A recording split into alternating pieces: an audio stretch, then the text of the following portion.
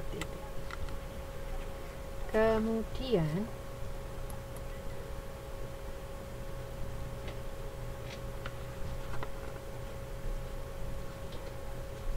ada disebut inventory turnover. Di sini yang keempat perputaran persediaan. Oke memperlihatkan efisiensi penggunaan persediaan atau mengukur kemampuan dana yang tertanam pada persediaan untuk berputar dalam periode tertentu. Semakin tinggi tingkat perputaran semakin efisien penggunaan sumber dayanya.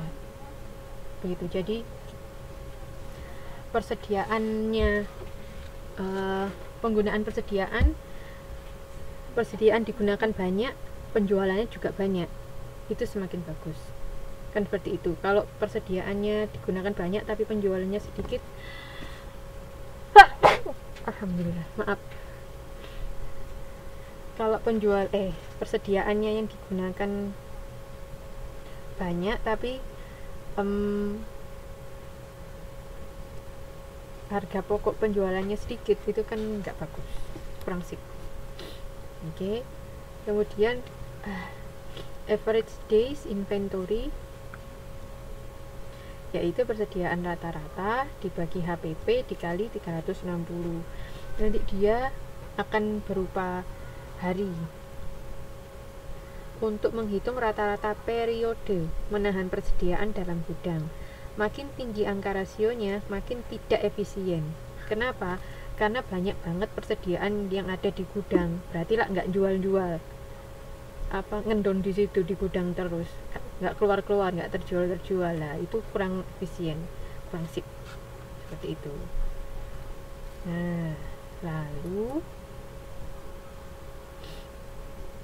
ada juga rasio keuntungan atau rasio laba mengaku, mengukur kemampuan dalam menghasilkan laba ada beberapa jenis rasio keuntungan di antaranya gross profit margin yaitu penjualan neto dikurangi HPP dibagi penjualan neto ini gross profit.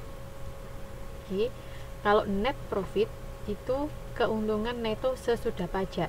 Kalau tadi belum dikurangi pajak gross itu kasaran. Jadi hanya dikurangi HPP kalau net profit keuntungan neto sesudah pajak jadi sudah dikurangi HPP terus dikurangi pajak. Itu kemudian ada net earning power ratio. Itu keuntungan neto sesudah pajak dibagi jumlah aktiva. Seperti itu.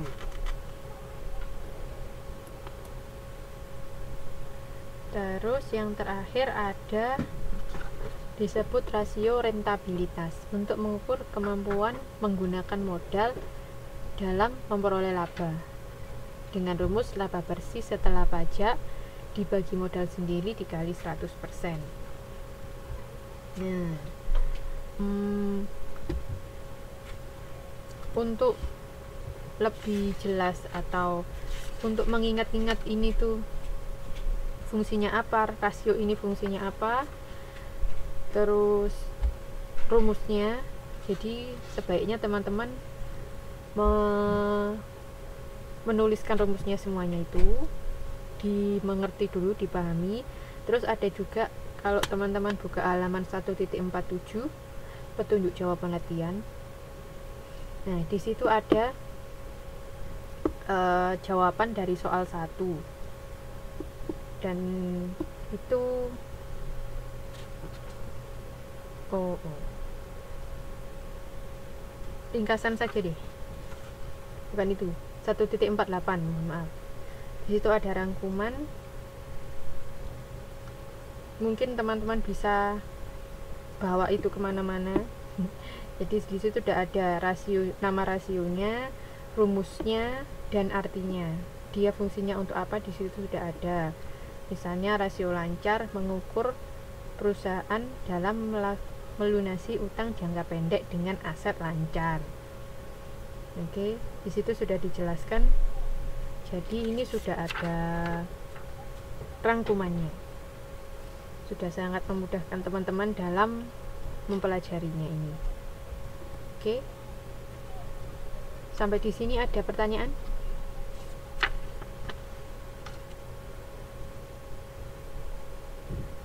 Oke. Teman-teman yang lain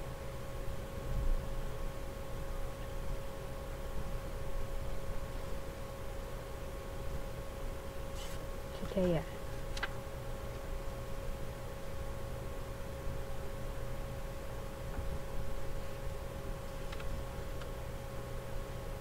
oke.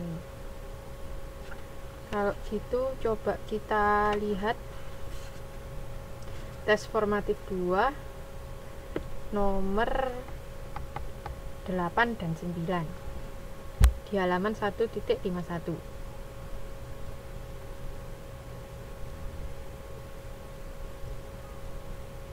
sudah dibuka semua.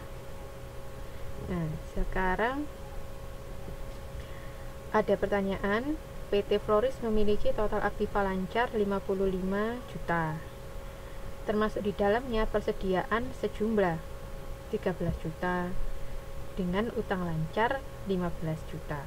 Maka besarnya rasio aktiva lancar. Current rasio adalah berapa kalau current ratio atau aktiva lancar berarti aset lancar dibagi utang lancar.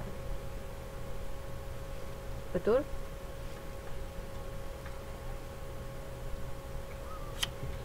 Current rasio apa?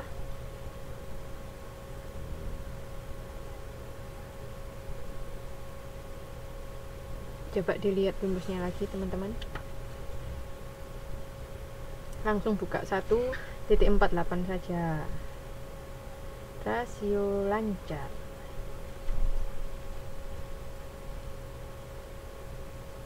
mm -mm. oke okay.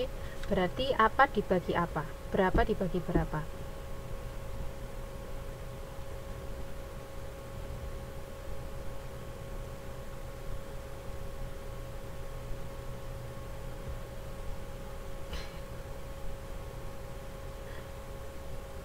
Mbak Ju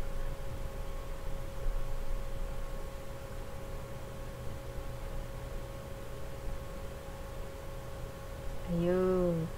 Aset lancar Aktiva lancar dibagi utang lancar. Aktiva lancarnya sama dengan 55 juta. Oke ini aktiva lancar. Kemudian utang lancarnya 15 juta. Berarti current rasionya 55 juta dibagi 15 juta.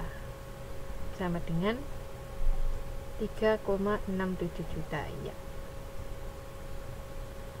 15 ya ya kalau 13 juta itu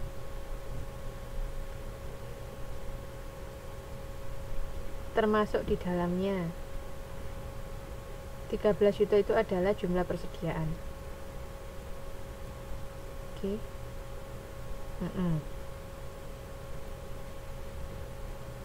nah kalau yang nomor 9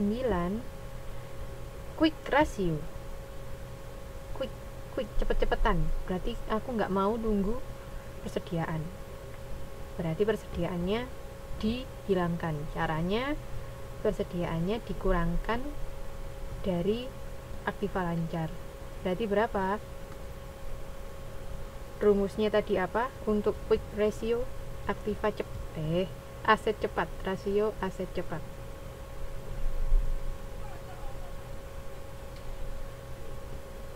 Hmm, jadi total aktiva lancar dikurangi dengan persediaannya dibagi utang lancar ya betul. Hasilnya berapa teman-teman? Yes. Oke. Okay. gitu ya. Jadi teman-teman bisa latihan sendiri. Oke okay, jadi di, di dibaca dulu soalnya dia mau cari apa kemudian rumusnya gimana dan jangan lupa